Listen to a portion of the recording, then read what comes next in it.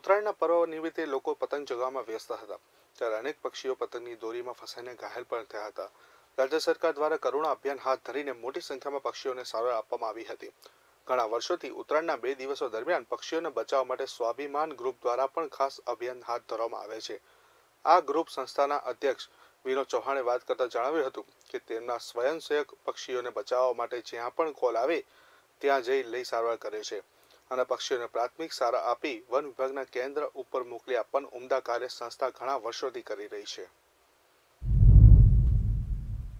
સ્વાભિમાન group છેલ્લા આઠ વર્ષથી આ પક્ષી બચાવ અભિયાનમાં જોડાયેલું છે.